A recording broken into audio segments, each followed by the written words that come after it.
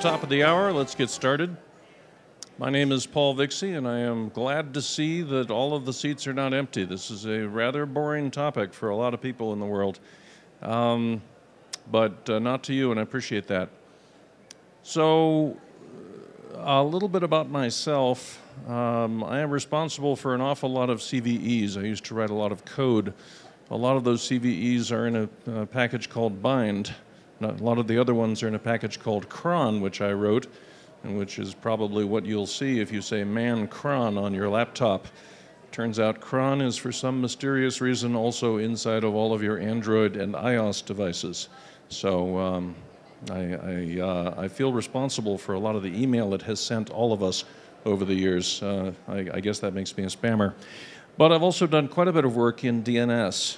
Um, I started a company, Internet Systems Consortium, back in the early 90s uh, to own the copyright for Bind. And it, is, uh, it still exists, although I have left there in 2013 to pursue the work I'm going to describe today. Um, so I had a couple of different slide decks that were all keys that could fit the lock of uh, the, the abstract I sent. Uh, in other words, I, I tried to be as generic as possible about describing what I would talk about so that I could kind of lurk down there and listen to small talk and get to meet people so I could figure out exactly which audience this was. And I've dialed it all the way to the right. This is the absolutely most technical version of slides I have that fits the uh, description of the talk you were told to expect. Um, so I'll be telling a little bit of uh, history story, but uh, mostly what I want to say is I worked on DNS and Bind from sometime in the late 80s until, I don't know, uh, maybe 2008. Uh, so I hired the people who did Bind 9. I have no code in that package, so you should have no fear. Um, but the reason I stopped working on DNS was because I want to use DNS to secure other things rather than working on DNS itself and trying to secure DNS. So if you're here expecting me to talk about TSIG or any of the rest of that stuff, I'm sorry, that's not coming, but there's a bar, so we could talk after. What we're going to talk about here is the importance of DNS to everything else on the internet and the benefits to you of monitoring and possibly controlling it. Um, and I have some demos which I will give here at the end if there is time, uh, or I will give down there at those round tables to those of you interested uh, if I run out of time here. Uh, so let's get started. There is an awful lot of DNS traffic in the world. Um, I've shown a snippet of a log file showing the three largest um, sensor operators that I deal with. These are people who operate a sensor like the one I'm going to describe to you, and they transmit their data to us uh, mostly so that it can be shared with other people like them. But we do also make commercial use of it. That's what paid for my air ticket to come here. Um, and what you should be able to see is that uh, there's an awful lot of bytes coming from an awful lot of servers, and that's just me. And I may run the largest network of this kind, but I'm still only seeing maybe on a good day a 20th of a percent of the total.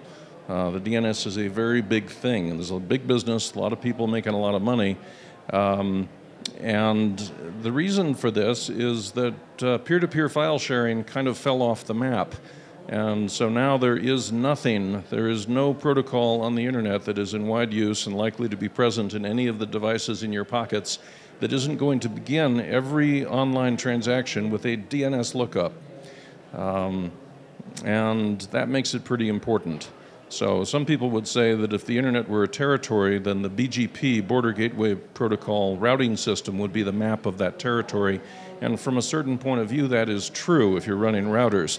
However, these IP addresses are not memorable, and in IPv6 even less so.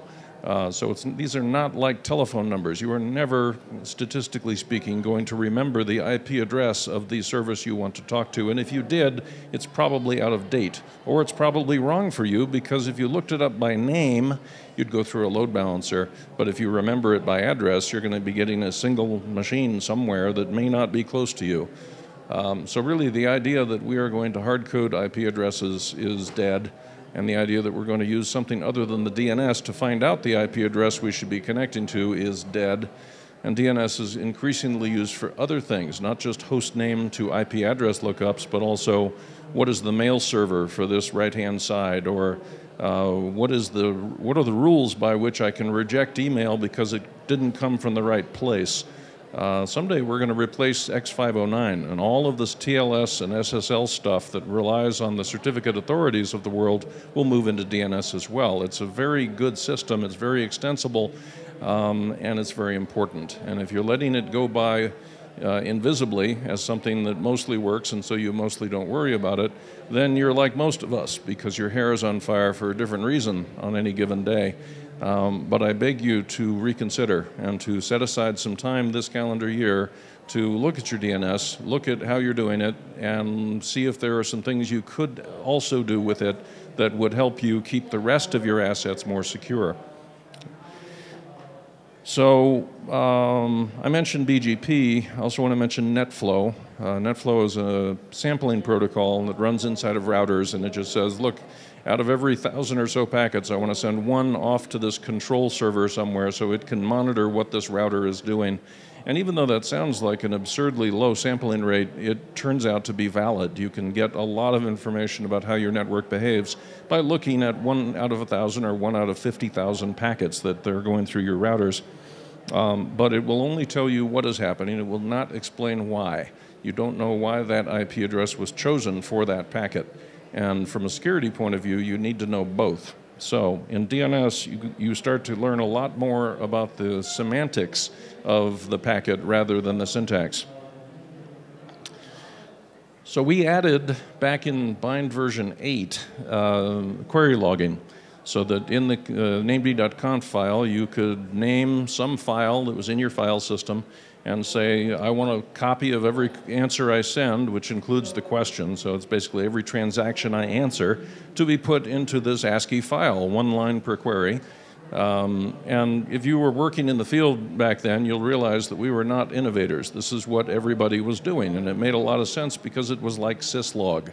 And to the extent that Splunk came along and gave us something constructive to do with all of those syslogs, it may even have made sense. But the problem is you're writing to a file system that is backed by some physical device. Um, and with SSD, those physical devices have much better latency than they used to, but uh, still, there tended to be a bunch of kernel buffers that you would write into. Um, Bind wasn't aware of that, it was just using fprintf or something like that, but uh, ultimately it was going into a bunch of kernel buffers, uh, and when you ran out of those, then it had to wait for the device to catch up.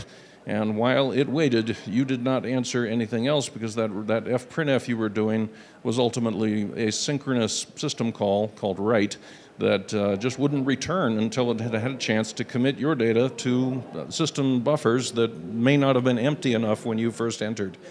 Um, so I have some graphs that show what that performance looks like if you turn on query logging. Um, and so obviously that was wrong-headed. Uh, it was one of those things where I probably added it and tested it, and it worked for running dig a few times. And I said, hey, look, I got output in the file, and so we shipped it. That does not mean that it worked in production or that anybody using it got good service as a result. Um, there is actually a large collection of uh, thorny problems behind that particular uh, curtain. And I'm going to talk about a few of them here because they inspired the work I'm describing. Um, so what we tended to do uh, once we found out that wasn't going to work is to use BPF. BPF is a kernel facility that feeds a library called libpcap, and that is in turn how the TCP dump command works. In other words, you're looking at the packets and trying to guess from the packets what DNS transactions were going on. Um, now that was a lot easier when all of DNS was in UDP because one packet would be the query and another packet would be the response. Uh, but things got thorny uh, quick because first we had bigger responses than would fit in a packet. Uh, I did that, that was the eDNS protocol, and I'm sorry, um, because it resulted in IP fragmentation. And in an IP fragmentation world, the UDP headers are present in the first packet, but they are not present in subsequent packets. And so you have to save a lot of state if you're going to uh, reassemble that stuff. And of course, the kernel does all of that state keeping because it needs to reassemble the fragmented things coming at it so it can deliver those to the read system call that we're then doing. Um, but here we are standing next to the packets. They're not being aimed at us. We're watching them go by and having to do all of that state keeping to do the reassembly of the packets and uh, it turned out to be a mess. And what we have now is an increasing reliance on TCP, uh, which is to say you have even more state keeping because you have all those sequence numbers. Uh, doing this passively as a bystander has gotten harder over time. Um, I was responsible for some software called NCAP, uh, which is still out there but not, not widely used uh, which tried to do what I just described. It did that reassembly of, of the, the fragments and it did the, re the reconnection of transactions uh, and generated a file. And the great thing about NCAP or anything else that's based on BPF is that if you can't keep up, it doesn't slow the server down. It just means you don't get everything. And if that's the choice you have to make, you know, do I want to slow down to the speed with which I can record, or do I want to record with less fidelity when I'm not keeping up. Most of us who are running servers that have got users that know our phone numbers are going to say, I want, to, I want the service to be reliable even if I miss some packets. Now, that also creates some problems because if you're not going to get it all, you have to be careful about what you're not getting. You have to be, in other words, constructive in how you lose. And I'll talk about that in a few minutes. Um, my code got thrown out. I hired a 20 something and he looked at it and said, This is crap, and rewrote it all. He was right. Uh, and so now we do everything we do with nMessage, and this is all open source. And so you can find it on GitHub. It's very portable. Uh, it can be the basis of virtually any experiments I can imagine you doing in this area because uh, we keep it up to date and it's the basis of everything we do. And as far as I know, there's nobody doing more complicated stuff in DNS research than we are. So this is a uh, kind of a orbital version. This is what you would get if you took an orbital photograph of DNS. Uh, so you cannot see the details, but you can see the big blocks. Your stub resolver is here in your phone or in your laptop or your virtual machine or your physical machine, your router, your IoT device. It's where queries come into the DNS. Now, those queries are sent to a recursive server, and there is a recursive server in this building that you were told the address of when you signed on to the, uh, the Wi Fi. You don't have to use the one it gives you, but it will give you one that will generally work uh, for some value of work if you're in China. But um, the idea is you're sending the query to somebody close uh, that is trustworthy, and the path between you and that recursive server is short and easy to protect. It doesn't have a lot of people watching the packets on it that are not your friends. Um, and the other benefit of having one of these close to you is it has a cache. So if one of you has already asked for www.google.com and I ask a few minutes later, I will get a very rapid answer because I'll get a copy of the one you got. Now, that cache is of limited size, and the DNS is not of limited size, so you can imagine there's some management, uh, least recently used discard and other things that you have to do to that cache because not everything that people are interested in is going to fit. Pretty much no matter how many megabytes or gigabytes you give, it will not be enough. But that's okay because you only care about the stuff that is requested often enough that not having it would be a problem on average.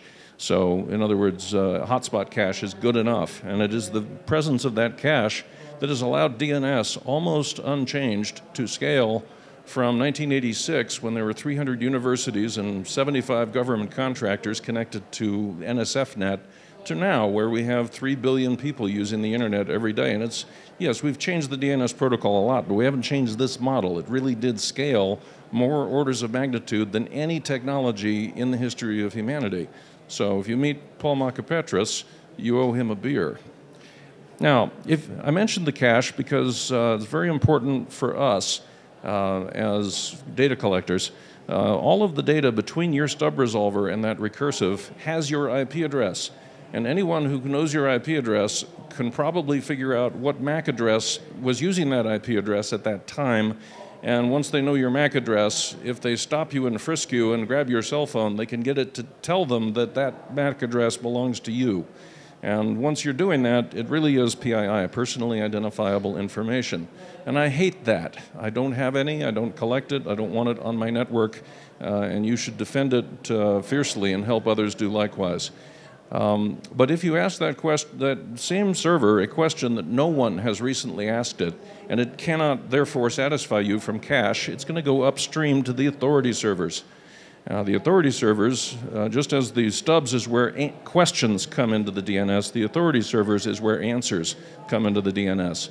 And if you've used Bind, you know that it's an authority server and it's got zone files, and you edit them with your favorite text editor and uh, tell the server to reload them, and that's how data gets into the DNS. And pretty much that's it. Those are the three types of protocol speakers the DNS has. And what I want you to notice is that uh, we have, Farsight is my company, and uh, we collect a lot of data. That's what that um, uh, email snippet about the number of bytes was, was from. We collect a lot of data, but we collect it from above the recursive, not below. So we never know the IP address of someone who asked a question. And to the extent that uh, some DNS questions are one time events, right? Because you, as a web user, were handed all kinds of cookies and one by one pixels and all sorts of things. And one of the things you were handed was a unique, random looking subdomain of some domain, so that if anyone ever asked that question, they would know it was you. So there, that is a PII leak, and I have a team who works on finding them and filtering them out before it makes it into our database because I don't want that stuff, and you shouldn't either. Uh, but it's not just a database. You can do an awful lot of other analysis besides storing this. But storing it is, uh, I guess, the thing that paid for my airplane ticket. So that'll be the demo I give later. Um, so there are some problems. One is I mentioned cache management. Um, so if all you're doing is looking at the packets, as we do with nMessage, uh, as everybody does with BPF, because this whole thing with uh, writing to disk uh, died when, when things got big. Um, so if all you're doing is looking at the packets, then there are a number of off-the-wire events that you will be blind to. You don't know, for example, that something got discarded from the cache because the cache filled up, or got discarded from the cache because the time to live field expired and it was just had to go get, get a fresh copy. You don't know why. All you see is a repeated query for the same data, and you have to guess about why that query was repeated. Um, and that's a problem for security. You need to know why a query occurred, not just that it occurred. Um, so that's one problem that you have by looking at packets. Um, another is that you don't know whether this query uh, is important as metadata or it's important as data. There may be somebody below you who needs to know what the address of a name server is, and it may be that that's a policy violation, and you will not be able to tell why that happened because there's no tagging of the intent of the query. Um, and finally, uh, with TLS and everything else that's happening now, D DNS over TLS, DNS over HTTP, which I recommend against, by the way, um, you can't really look at the packets on the wire unless you know the keys. Um, so you be, we're becoming more and more blind to packets uh, or to the DNS transactions. So something else had to be done. Um, but before I tell you what we did, I want to uh, give Van Jacobson the, the deserved shout out for this picture. Um, if you are collecting things very quickly and then you're trying to upload them and you cannot upload them all, then some of it is going to be lost. And so one of the problems we decided we were going to solve when we moved away from looking at packets was to be more constructive about what we didn't keep. Um, because if you don't know what you're not keeping, then you can't predict what you didn't see. So a lot of this becomes a gang of statistics, especially if you're running it through TensorFlow and trying to do machine learning on it. So we created two technologies. And I say we because it was people at my company, but we open sourced them. They're on GitHub. They now have much larger teams than the small number of people who created them. One of them is called DNS Tap, the other one is called FrameStreams. Uh, so DNS Tap is inside the name server. So you're no longer looking at the packets generated by the name server, trying to guess why they're there and what they mean. You're actually getting a, a library call from inside the name server that says, this is what I, this is the question I got, this is the answer I sent, and this is why. Um, and FrameStreams was a necessary transport component to get that data out. Uh, because again, we're not just going to write it to a file. We know that that, that way lies madness. Um, and we would have liked to maybe simply write it out to a UDP port. That is how um, NetFlow works. Uh, but again, that becomes a problem if that UDP port might be local, might be distant, might be firewalled, uh, might be observed by people that you, you don't trust. Uh, so we decided to create a transport for this kind of information that had the semantics of loss that we liked um, and also gave us all of the options we needed about where the other end of this data was, you know, where it was going after it left the name server. Um, so this all happened about, I don't know, three, four years ago. And uh, this is now present in any open source name server you can install. Um, we have not yet got Microsoft to do it, and Akamai, who bought Nominum, has not yet done it because, of course, they all have their own proprietary ways to share this telemetry, and they're not sure that we can cause them to lose market share by building this big open source thing around them. Uh, so you can help me by just installing this, but uh, I'll get to that later. So again, this is server embedded. And um, that means you're not guessing what the question was. You've got a name server telling you what question it was answering. Um, as a little side note, there's a big problem with bailiwick detection, right? If there, let, us say that uh, you have a name server somewhere that is responsible for both a zone and one of its subzones. So imagine, I don't know, example.com and foo.example.com have the same authority server. You cannot easily guess when you see a packet sent to that server, what bailiwick the, the, the requester thought they were operating in. In other words, did, did I send this to that server because it's responsible for example.com, or did I send it because it's responsible for foo.example.com? That information isn't on the wire, but the server knows. The, the thing generating the question knows that, and it puts that into this payload, and that helps us a lot when we're analyzing what happened. Um, and let's see here. I mentioned the, the various things you don't see from OnWire, like uh, if there is a cache dismissal, something got purged for some reason, it can tell you that, uh, which means it's capable of reporting on things that are not DNS transactions. There will be other activities inside the name server you would also like to be able to observe. Um, and finally, you know, we did not want to innovate unnecessarily. Google did a very good job on protocol buffers, which you can think of as like a cleaner version of ASN1 or a, binary version of JSON or however you want to think about it. It is the fastest way I know of to portably encode a bunch of numeric data and send it to somebody else whose machine word size and byte order are different. Uh, it's a very cool system. It's hard to work with, but uh, since we were using it in other areas, we used it here, and it is all open source. Google doesn't want a license fee, and there's a JSON version and a JavaScript version and a Java version and a C and C++. It's, it's out there. So um, it, it's, it's part of the burden we ask people to adopt when they run DNS tap, but it's the smallest burden we could think of. So uh, I've already mentioned the uh, things associated with off-wire information. Um, and for that, I want you to consider that there is now a protocol option by which a server can put its fingerprint into a response. Because with Anycast, you don't necessarily know which server you were talking to on a given transaction. And so with NSID, that's an option in the protocol. A client can uh, request that the server please identify itself because if uh, there's a problem with this, I want to know how to report the problem, who to report it to. Well, that isn't universally deployed, so we put that in here as well, so that if you're monitoring uh, at this level, you can figure out as much as possible uh, what server generated the question and what server uh, responded to that, that question. Um, also, there are different reasons right? Uh, this recursive server I told you about responds to queries from stubs, but it also generates queries to its authority. Now, I don't want to see your PII, but you probably do, right? No employee has a reasonable expectation of privacy when using the company's equipment.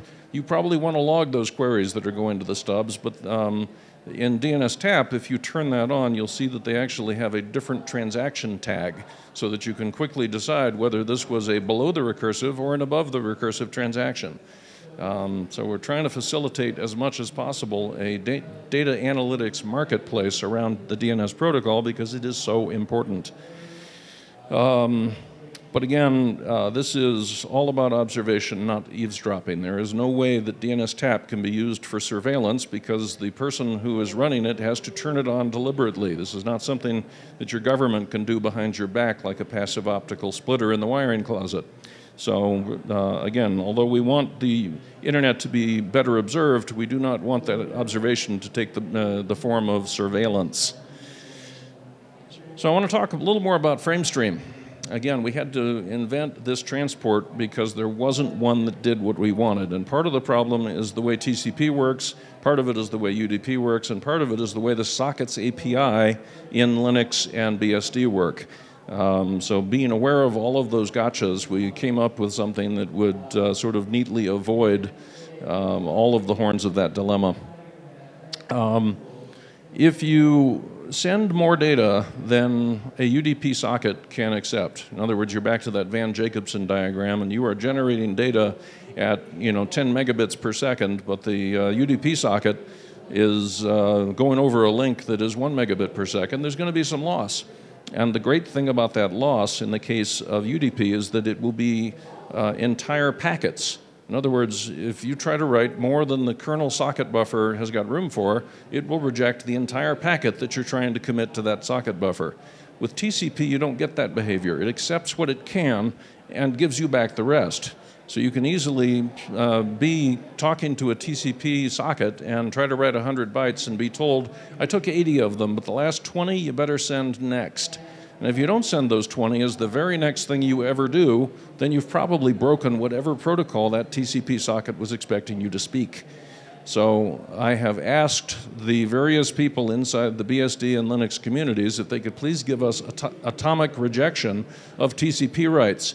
Uh, and one of them did, but it's so not portable that we can't depend on it yet. Um, uh, we, we, will keep working in that area. Um, so what we decided to do is to create this thing that would sit above that kernel socket, that kernel socket buffer, uh, and do the atomic rejection in user mode. Um, so it relies on a lockless single provider, single consumer ring buffer. Uh, and I say lockless because we don't have time to be uh, sort of messing around with mutexes and, and thread, pthread context at the speeds we're operating. Um, and we are talking to a blocking socket. So uh, when you write to it, you can block. And so that's just inevitable.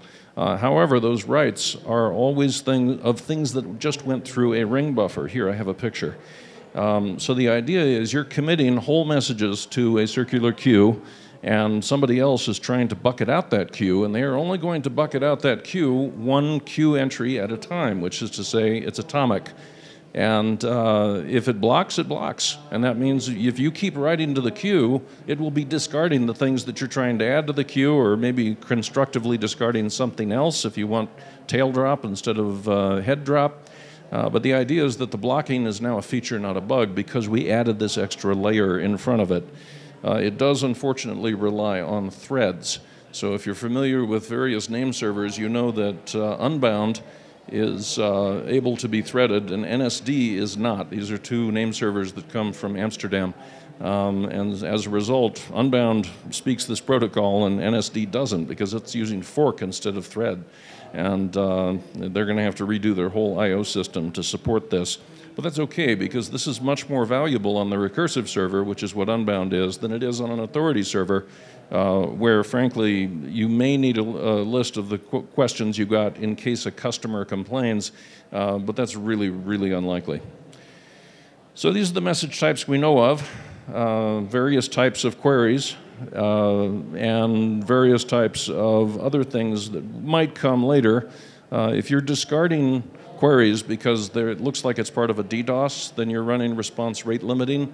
That's something you'd like to know. And we do put that in the syslog using res when response rate limiting is occurring.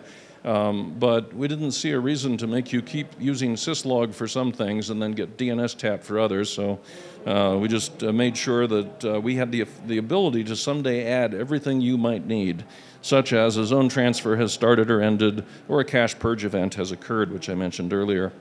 So here, as promised, is what happens if you turn on query logging in bind 9. Um, So what's happening here is uh, your system utilization, sort of how many CPU cycles are doing something rather than idle, uh, is on the uh, vertical, and the number of questions you're answering per second is on the horizontal. Uh, so if you're just using bind9 without query logging, you can see that uh, as the number of queries you're answering goes up, the system utilization goes up, and when it hits about 1.0, then it doesn't get faster. No more queries per second can occur, uh, and it does not use more than 100% of the system because that would violate the laws of physics and math. So that is, it's not beautiful. It would be better if it went further before it saturated your system. And more recent versions of Bind will go further and are sort of less vertical than this. But once you turn on query logging to a file system uh, uh outcome, then you can see that buffer cache uh, hurting you you will reach 80% of utilization and you will never reach 200,000 queries a second. And that's just because it's spending all of its time waiting for a write system call that is behind an fprintf library call to finish. So this is exactly what we expected. Now after we got dnstap working, we put it into unbound first because I was part of ISC. The bind, bind was our thing and I really didn't want to look like bind was all we cared about. So this is one of the times we did something non-bind before we did the bind version. And so uh, with Unbound, you can see in the blue that uh, it uh, gets a lot further, a lot more queries per second before it saturates the CPU. Uh, but you can also see that once you start turning on dnstap, just having it uh, turned, you know, existing in the server but disabled slows you down a little bit, right? Just having that config knob. It's one more test you have to do as part of answering a query. And so the light blue is a little bit less uh, attractive than the dark blue. Uh, once you turn it on, but say, look, I want you to assemble all the messages, but don't do anything with them, discard them, that's the green, and you can see again, it is not as many queries per second, but it doesn't have any saturation point. Finally, if you turn it on writing to a hard drive or writing to a, a, file on your file system, that's the red, and you can see it is the least attractive, but it's really not that bad compared to what Bind was doing. So um, we treated this as success. So we're using the Apache open source license for all of this, uh, sometimes called AOSL2. Um, and that's not because uh, BSD license, which is what ISC started with, or the ISC license, was not beautiful. It just was not as beautiful as the Apache license. They paid better lawyers than we did. So the AOSL 2 license is, it gives you BSD-like semantics in terms of people making derivative works, but it protects everybody better against liability. Um, but the point is it's open and that all of this is on GitHub and you can use it or contribute to it the way that you can on anything else that's on GitHub. Maybe even more so because there's no GNU virus going on there. You're not forced to share your changes if you make a, a, a derivative work, for example. Um, and it's in, again, it's, I didn't mention PowerDNS, but it is in every open source name server that you could want at this stage. We've, I've spent four years on an airplane making sure that this got around. Uh, I will circle back to Microsoft at some point and remind them that the DNS analytics market does not include them and they really need to add this cheap, easy open source thing to their name servers. And the same for Akamai who bought Nominum. Um, and there's a website, dnstap.info, that will tell you sort of everything I just said, plus maybe more technical details. Um, so I want to explain a little bit about why we did this, and I cannot make a commercial pitch. This is not a show where vendors get to hawk their wares. So I just really want to say everything I've described is licensed. It's open source license. You don't owe us a nickel every time you use it or anything like that. And as far as how we do what we do, we collect all this data and uh, we trade, right? If somebody wants to buy the data from us commercially, we do that. If they want to trade data, like they're willing to run a sensor and they want access to what we do with their data, we do that. So uh, we even have a number of academic users who had nothing to offer in trade and they still get it for free. So uh, please do not treat this as a, a commercial pitch. This is me trying to align my company's interests with the interests of the overall economy so that I am additive rather than extractive to, the, to that economy. Um, so we're gathering this data, and we've got uh, 200,000 of those cache misses every second from around the world. Um, I don't know if anybody has more. Uh, Google might have more, but they have a privacy policy that promises not to do what we do. So um, I, I, I, can't look at their data and find out what percent of them would, would be us. Um, but we have a whole bunch of real-time channels, and sometimes all you care about is newly observed domain names or newly observed delegation points or differences, you know, where some DNS change has occurred. Or other times you might need to look at a database uh, so that you can find out, gee, I got spammed, uh, or my probably my CFO got spammed if it's somebody in this room, um, and they clicked on something they shouldn't have, they got infected. The domain name that was in the email is gone now and I need to know what it said when it was alive, but it's been taken down. Somebody else complained about it. Uh, the history is in this database. Once you find out what it pointed to, you can ask contextual cross-reference questions like, uh, what are all the other domain names that have pointed to that IP or to an IP in the same net block? What are all the other domain names that had the same name server? What are all the name servers that had the same IP or the, in the same net block? Whole bunch of cross-referencing that you get to do which kind of uh, takes the clothes off the attack and lets you see them naked, which is not pretty, but nevertheless helpful. Um, as you know, WHOIS is crap and getting worse. Uh, thanks to GDPR, but please do not blame GDPR for the death of WHOIS. You have to blame ICANN and the commercial constituency because they want to sell domains as fast as they can and they don't want their customers to be accountable because that would slow down the rate of new domain sales. So you have to look uh, beyond GDPR to find out who to blame for the, the uselessness of WHOIS. But the point is, WHOIS was never accurate. It didn't have to be accurate. You put the wrong address, phone number, name, uh, whatever email address, put, it, put that in there, and the domain will still work. DNS is not like that. If you put the wrong information into DNS, then you cannot effectively attack people because they can't find your server or they can't figure out how to validate the answer or whatever that is. Um, and so I just want to say, uh, we cannot do what WHOIS used to promise, where you'd start out with an indicator and end up with the home address of the person who did it so that you can send them, a, I don't know, a lawsuit or a police van or whatever is on your mind there. Uh, I don't promise that. DNS doesn't have that information. What I can promise, uh, and what you should want, is the ability to take one indicator and turn it into an asset cloud, which is the fingerprint of the bad guy. If, if he attacks you again, it'll be with the very, very similar fingerprint. You'll know it's the same person. You don't know who it is, but when you catch up to them, you'll know exactly what they did. And that's what we do. Again, that's how that's what paid for me to come here, because there are commercial users of all of this, not just universities and internet superheroes. On the other hand, if you are interested in crime fighting uh, in your off hours after you get done cross uh, crime fighting during your day job, and you want access to this, uh, my email address is widely known. I get more spam than anybody I know. Please contact me. Tell me what you're going to do with it. Tell me if you can possibly get somebody somewhere to run a sensor, and I will give you a license key because I want the internet to be safer. I have kids. Um, so, um, if after Q&A we have a few minutes left, I'm going to give a demonstration of some of this. Um, but uh, I'm a little ahead of schedule, so we could do that now. But um, let me just stop right here while all of this is still on your mind, give you a chance to take a picture of all these URLs, although this video will be public and the slides probably also, uh, so you don't need to take a picture of it necessarily. But I'd love to know what you think about all this. Which problems do you have that this doesn't solve but seem closely related, and thus I am an idiot for not having covered them?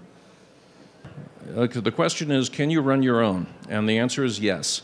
Um, a lot of our software that we use for DNSDB is open source, so it's a good construction kit. There is also a fairly well-known uh, passive DNS database solution that uses ELK, which is Elasticsearch something and Logstash and yeah. Um, and that a lot of people are using and they're liking it. But the sad thing is looking at a database of the part of the DNS that your server has witnessed is boring because it will not tell you, you can't cross-reference anything you didn't see. So um, you really are going to need a database bigger than the one in your house. Um, and that's why I created one. If it was possible to do this at the enterprise or a small office, home office level, I would have done it that way. But what I, you know, let me, uh, I, I, want more hands to go up, so I'm going to turn up the controversy knob. Um, there are other things besides the database that you can do if you're observing DNS coming out of your server. Uh, for example, a new domain name is probably created by some spammer or criminal. It's probably not going to live long. Um, and it's useful if you want to drive down the false positive rate to see what was new to other people as well, so that you get a chance to say, um, like at my house, none of my kids nor my wife are able to look up a domain name that was first observed by Farsight in the last 10 minutes. And there's a fair amount of complexity behind the curtains that creates that. Um, but uh, that saves us a lot of spam and a lot of malware because a lot of this stuff only lasts 10 minutes because it gets killed by some complaint or it gets listed in Spamhaus or something else. Um, so that, that first 10 minutes turns out to be critical. Um, but even without a large cloud of observers, and even without a database that is showing what was new to that large cloud, just looking at what's new to you should be interesting because if, if you're about to look up a name that you have, your server has never looked up before, um, you might ask the question, is this still going to exist 24 hours from now? Wouldn't I like to gray list it and fail the, the, the, query and just say no and just let it ripen for a little while and see if 24 hours from now that, uh, that, that, that question can still be answered because the server that's responsible for it is still up. You can do that with this technology and a, you know, a little bit of Perl scripting or Python or Go or whatever it is that, that you like. Yes, sir. The question is, is uh, sort of the, the size of my, or uh, let's broaden it, not just my uh, technology base, but the technology base in general. Um, so Google runs 8.8.8.8, and IBM runs 9.9.9.9, and Cloudflare runs 1.1.1, and they're spending a lot of money uh, on the people, the hardware, the software, the operations, the bug fixing, the, uh, the monitoring, the network connectivity, the power, and they're giving it to you for free. Right? None, none of us is paying any of those people when we use those name services. Um, I leave it to you to ponder what their motivation for operating that service might be, given that they're not getting any money from you uh, for, for running it.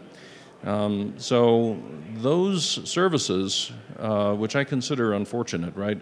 In the 80s, we all ran our own name servers and thought nothing of it. And then in the 90s, ISPs started to run them for us, and we thought, well, that's, I guess, convenient, even though it's a little slower than having one on my LAN with me. And in the aughts, OpenDNS decided that they would Anycast the whole thing, and then Google caught up with it. And so now everybody thinks Anycast is how DNS works. It doesn't. You don't need this. Uh, there's a device called a Pi-hole that uh, is a Raspberry Pi with built-in software that just does this. It costs very little. Um, nevertheless, uh, there's a fair amount of sheep DNA built into the human genome, and a lot of people just use those Anycast servers and by my estimate, they've got maybe 40% of the market. Because um, a lot of people do not care about this. They use their ISP or they use their university or they use their companies or they, maybe they just use their Linksys box or whatever because those often have DNS MASQ, which I don't know how to, how to pronounce. Uh, they often have that built into it. So a lot of people don't care about this and the ones that do tend to use whatever uh, four, four numbers with three dots uh, they last heard about and so that's a, that's a huge part of it. So of the part that is not using those, so the, the, the remaining 60%, I would say less than 10% does the analytics that I'm talking about. And I need to drive that number higher. Even if it isn't using my technology or you know, using my services, I need people to look at this stuff. Because if all, all of those people out there on the internet are trivially pwnable, that means we are less safe. Uh, there's no, no way that we can decouple our safety from the safety of the herd that we're in any more than we could by uh, adopting some anti-vaccine campaign. Other questions? Yes, sir. I mentioned that I was not a fan of DNS over HTTPS. Um, now, DNS over TLS is a perfectly reasonable engineering solution to a real problem that I admit the world had. Um, and if you want to use DNS over TLS, then um, may the wind be at your back. Um, all that does, by the way, it's, it's, it's DNS over TCP, but it begins with a TLS negotiation. Um, now, because DNS is often used to reach an X509 uh, registry to go look for a revocation certificate, for example, uh, you really can't have uh, both TLS depending on DNS and DNS depending on TLS. And so there were some tricks that they had to work out about being able to learn to trust the other guy without using a certificate authority to do it. So this is a di slightly different and I think better uh, way of doing TLS than what the web would normally use, but it's all in the library. You don't have to write the code to do this. You just have to trust the people who did or uh, that, uh, that has been adequately um, reviewed. Um, so another great advantage of DNS over TLS is uh, you probably don't need to close the connection, right? With DNS over port 53, the old DNS over TCP protocol that's existed for all these decades, um, the server uh, will close the connection on you if you go idle for about two minutes. Um, or if it'll probably close it faster and violate the two minute rule if it runs out of TCP sockets and is afraid that other people are not getting service. Uh, so all of that was dealt with on TCP over port 853, which is the, what's used for the TLS. Um, and so the, and the expectation is that your server will let that connection stay open forever. And so once your stub resolver has successfully negotiated with the recursive or the recursive has successfully negotiated with the authority, they can use that connection forever. Um, at least they'll be able to keep 50 or 60,000 of them. Eventually, you run out of TCP control block storage in the kernel, or you run out of file descriptors, uh, or something else happens. But um, it really was pretty well thought out. One other thing that they fixed was the head of line blocking problem. In DNS over TCP, you have to answer the questions in the order they arrived. Um, and that means that if somebody asks you something, some stub asks you something, and the authority is real slow, it's taking you five or ten seconds to get the answer, um, then anybody else who asks a question over that same TCP se uh, session is going to be waiting for that first one before they can get their answer, even if the answer was available in cache or available more quickly. DNS over TLS does away with that as well. It can answer things in any order. So it's a good, solidly designed protocol. It took years of argument in the IETF working group, uh, full of DNS people, and uh, it, it's, you know, it's, it's harsh because it adds complexity, but it was the best complexity we could come up with. DNS over HTTPS is precisely none of those things. It came out of the web community who was very angry about the Edward Snowden disclosures, and they want to encrypt everything, and they don't want any of their user traffic to ever be modified or uh, intercepted or uh, or monitored in any way, and uh, they are not DNS people, and they do not understand, for example, anything I just said about monitoring your DNS to look for bad things. There's a whole other talk I could have given today about controlling, having policy about what you're willing to resolve and what you're not, because you know where the domain generation algorithm botnets are today, and you're just not going to let your users touch them. So there's a lot about control that I didn't touch on today. I, I stuck to monitoring. Um, but the people in the web community who develop DNS over HTTPS are completely oblivious to all of that. Uh, they believe that they need to build technology that will uh, accommodate a hostile network operator who is going to replace your DNS with things pointing to their advertising servers or is going to monitor what you do and send it off to some human rights violation team somewhere. Uh, and so rather than tell you to use VPNs or tell you to use Tor, they decided to build DNS into the web browser. Now let me explain that your web browser is not the only thing that cares to look up names. There are many helper applications. Sometimes the web browser has to fork and exec something else, which will not know what the DNS lookup result was inside the web browser. It will try to do its own, and it will not have access to whatever DNS over HTTPS thing that the web browser used, and so it might get a different answer. It might even be using a local naming system where you've got sort of .home or .local or some other thing that only works if you use the local name server. Um, I tried pretty hard to talk to the people at the Mozilla Foundation who were pushing this thing really hard, and I've talked to the Google people about uh, why 8.8 supports it and why Chrome and Android are going to support it.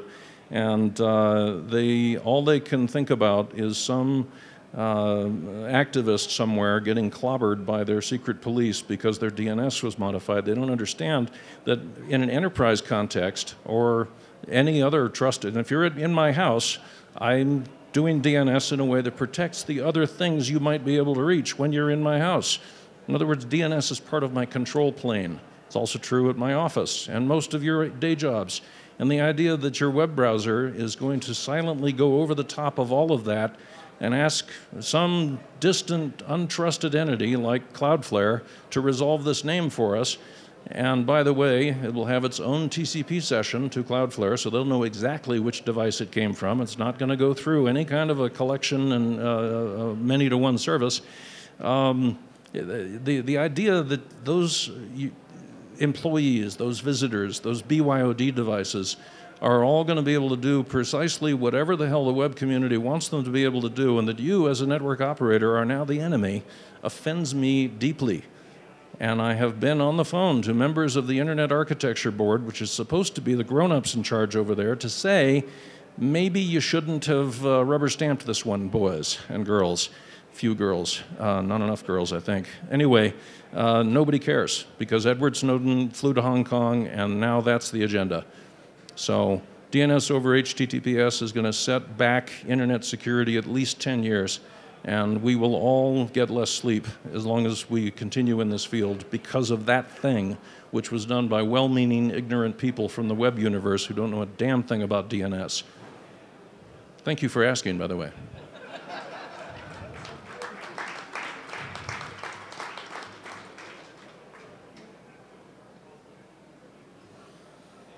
More hands.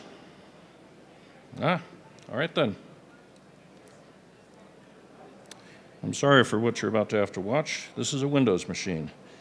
Uh, uh-huh. And I think, let's try this. Uh, hey, look at that. So there's a database, and it is fed by this uh, very interesting front end. It's getting 200,000 operations per second and crushing them down into something that can be fully indexed. That used to be hard. Now you can sort of buy that off the shelf. But we're not using any of the standard uh, NoSQL databases. We did all of this on our own because in 2010, commercially off, commercial off-the-shelf technology could not do uh, what you see now. Um,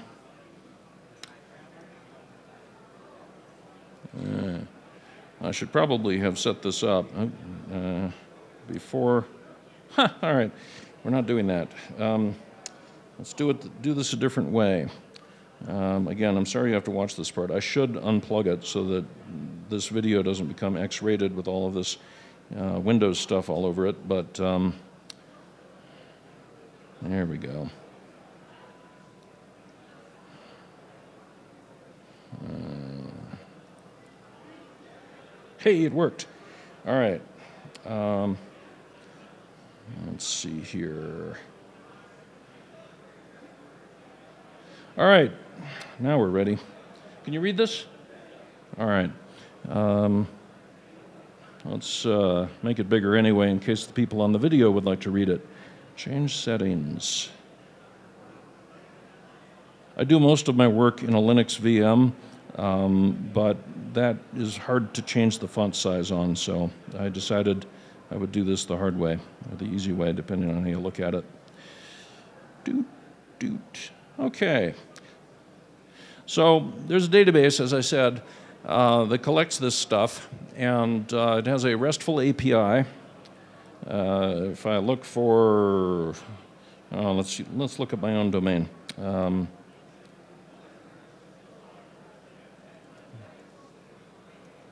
Uh, dash J. Um, oh, if this doesn't work, we're, oh, red barred. Ha! That's not going to happen. Not going to work. Don't know why it was so slow, but it's certainly not going to work if I use the wrong name. Ah, there we go. So you can see that there is a JSON output here. We can pretty print it with, I guess, JQ. Um, so that you can get some sense of what the database contains. I was asking for uh, entries by RR name, in other words, the owner of something, and I was restricting it to just the MX record type. And um, you can see that our system successfully guessed the bailiwick And that's because redbarn.org and .org are not served by the same name server, so we were able to disambiguate just by looking at the packets. That's becoming more rare. Uh, and you can see that the answer is some server called SS. Um, yes, I did move to the Soviet Union after I sold VIX.com. I bought a sports car with the money, and I bought property in the Soviet Union decades after it was dead. So I feel like a good Cold Warrior today. So um, this is a uh, database that has a lot of other features to it. If we say instead of asking for the uh, owner name, if we say I'm going to give you the answer, and I would like you to tell me where that answer has been used, and let's allow it to give us five answers instead of one. Then you get the permuted index. I'm telling you the MX record. I want you to tell me what uses it. Now, JSON is kind of boring, so let's turn that part off. Let's get rid of JQ, get rid of dash J. The default output for this tool is to convert that JSON that is coming from the server into something that would normally fit in a zone file because I wrote this tool and I like this format. Uh, we do have people who hate this format, and so for them, we're able to turn it into CSV so they can import it into Microsoft Excel. But the point is, um, this can be used either to fingerprint a bad actor, because you know what name, mail server they were using, uh, or what name server they were, you know something that they were using, and you want to know what they were using it for. Um, now this data is old because, as I told you, I sold uh, uh, some of the servers that, uh, that, that, went into this to buy a sports car.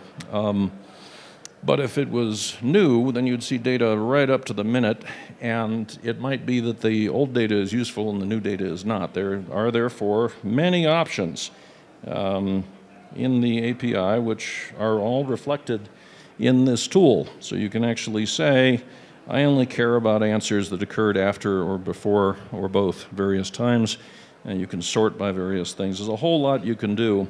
Um, I'll give you one other example because we're running out of minutes here. Uh, let's take a look at the history of the IP address for farsightsecurity.com.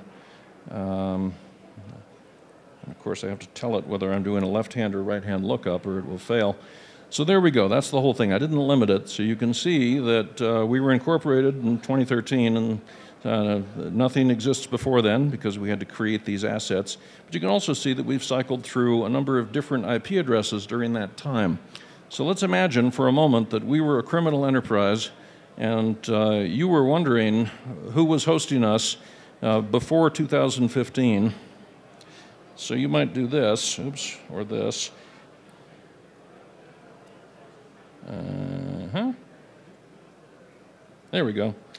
Um, in order to get, again, the permuted answer, I'm telling you the answer, I want you to tell me the questions that led to it. And if that is not exciting because uh, .81 looks pretty tame and what you're wondering is who else were they were hosting, then you can broaden it to a net block. And yes, it really is this fast. That is not a rigged demo fact, it barely works at all uh, from this Wi-Fi.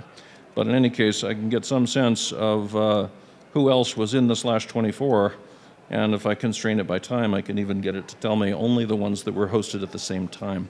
This is, to me, a necessary tool for anybody doing either DNS research, security research, incident response, defense, uh, forensics, any of it. Um, and I will give you an API key if you run a server or I'll sell you an API key if you want to use it commercially, and that's my pitch. And we are pretty much at the end of the hour, but if there's one last question, I will squeeze it in. Oh, come on. I'm sorry, louder? It, the sports car is a Mazda Miata.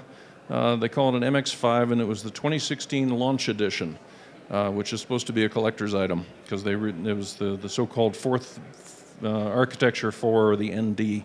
It's a very fun car, but it is too safe. It, it, it could not possibly explode or go over a cliff, so I'll probably have to move back to a Datsun. Thank you all for your time today.